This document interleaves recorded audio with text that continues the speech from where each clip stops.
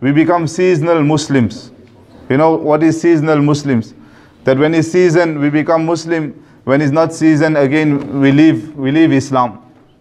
Allah subhanahu wa ta'ala save us. When it's season, we pray salah. When it's not season, we don't pray salah. Salah is every time. Five times a day, salah is compulsory. The Taraweeh salah was sunnah. Fajr salah is farad. If you missed your Taraweeh salah, there is a great chance that Allah Ta'ala may forgive you because it was a sunnah. If you missed your Fajr salah, then there is no forgiveness. Then you have to make it up before you die. Illa masha'Allah. Illa masha'Allah. This is the law of Allah. That your farad salah needs to be needs to be corrected. Alhamdulillah, our masajid get full, full at the time of Eid. Eid salah is sunnah. I'm not saying don't pray your Eid salah. We should be praying it and we should be celebrating the day of Eid.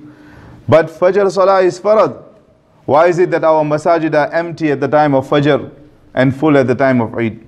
We, have we become seasonal Muslims? I'm asking myself that same question. And you need to ask yourself the same question that where have we gone wrong?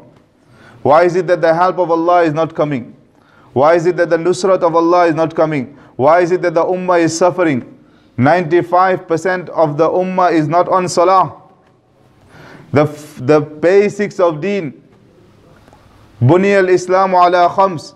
Shahadati an la ilaha illallah. Wa anna Muhammadan Rasulullah. Wa iqam salah. Wa ita'i zaka. Wa hajj al-bayt. Wa sawmi Ramadan. That this, these are the pillars of Islam. Man aqama salah faqad aqama deen. Man hadama salah faqad hadama deen. This wasn't my topic. I went on to it that whoever establishes salah he has established deen. And whoever has destroyed his salah he has destroyed deen. The deen and Islam and the good deeds that we will do will have a physical form on the day of Qiyamah. Will have a physical form in our graves. It comes in one hadith that when a person is lowered in his grave, then the punishment attacks him. The punishment and the punishment of the grave and the serpents of Jahannam, they'll try to attack him from the right hand side, from the left hand side, from the side of his head, from the side of his feet. On one side, his salah will come and stop. His salah will protect. On the other side, his zakat will protect him. On the other side, his Quran will protect him. On the other side, his iman and other amals will protect him.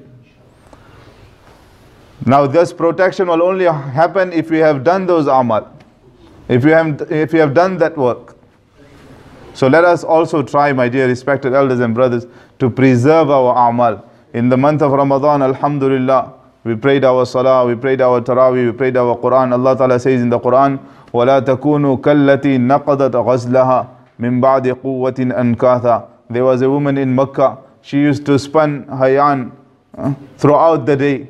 And at the end of the day she used to rip it apart in shreds and in threads. And this was her sickness, that whole day she used to sit, spun the yard, and thereafter repeat apart. So she became an example in, for the people of Makkah.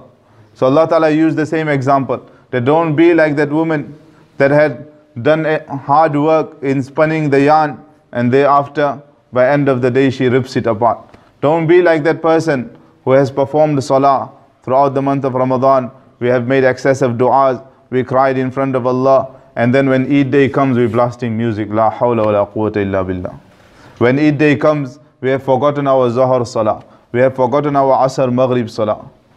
When Eid day comes, we trim our beards.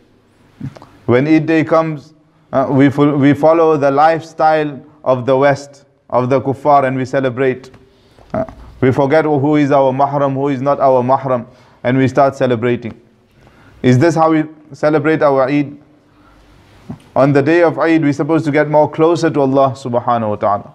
Yes, by all means, be happy, enjoy with your family members. The Prophet sallallahu alaihi wasallam said, فَإِنَّهَا أَيَّامُ أَكْلٍ وَشُرْبٍ وَبِعَالٍ That it is the days of eating, it is the days of drinking, it is the day, days of merrymaking. So enjoy, but enjoy in a halal manner. Allah subhanahu wa ta'ala grant me you and one and all the tawfiq wa akhiru da'wana alhamdulillah rabbil alamin